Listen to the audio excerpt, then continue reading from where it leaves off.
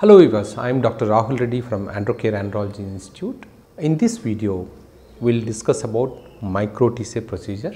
This is a rare surgery and more advanced surgery for people with zero sperm count where uh, they couldn't find any sperm in the uh, testicular biopsy.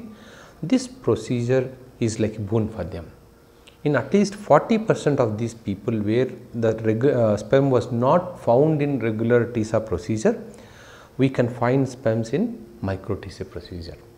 So, what is this procedure? So, where it can be done? That means, see this can't be done in any, any like a, any other hospital. This needs a setup. This needs a very high end uh, surgical operating microscope with at least 25 to 30x magnification and a micro TESE procedure is a teamwork. Only surgeon is not enough. Uh, you need surgeon, you need embryology team because for surgeon it may take 1 to 2 hours for the procedure because it is a slow procedure. You have to open the testes without damaging the testicular tissue.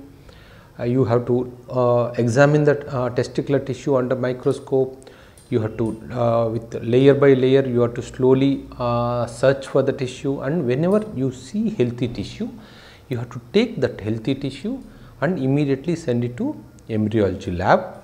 In the embryology lab again this takes at least 2 to 4 hours for uh, embryology technician to uh, tease the tissue uh, tease the tissue and look for sperms so this is a time taking procedure.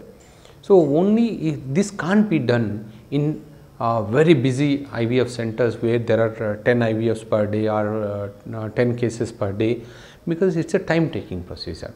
So that is why generally micro we do not do on regular days.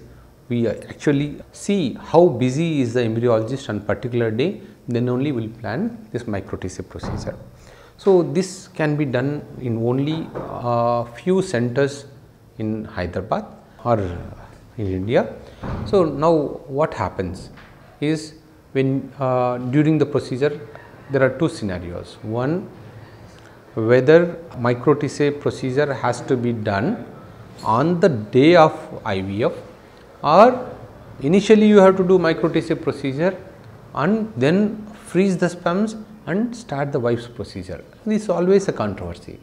So what happens if suppose there are very few sperms normally what happens once we get the sperms we will we will freeze them at minus 198 degrees centigrade in liquid nitrogen. So sometimes what happens these frozen sperms once you try to retrieve them or uh, we call it as thawing procedure where uh, you bring them back from the freezing some sperms may die. So there is chance that all all the sperms may uh, may die during this procedure. So now my suggestion or in general what can be done is because this is the last chance for uh, for us to get the sperms for micro procedure generally what we do we prepare the wife. On the day of IVF we do micro procedure so that we do not have to waste the testicular tissue. Whatever sperms we get we can freeze. But in some centers some IVF centers there is advanced uh, sperm freezing uh, method or techniques like straw method. So, even if there are 3 to 4 sperms we can freeze them. If we are working with that kind of uh, IVF center then freezing is not an issue. We can do micro TESE in the beginning and uh, we can later after, uh, after, after 3 months, 6 months or 1 year uh, whenever his wife is ready for IVF we can thaw them and we can do IVF. So now regarding this micro TESE, we will try to uh, make videos.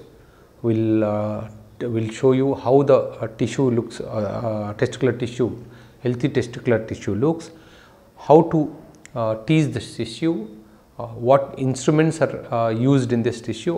we will try to make videos regarding this. Keep watching. Thank, thanks for watching this video.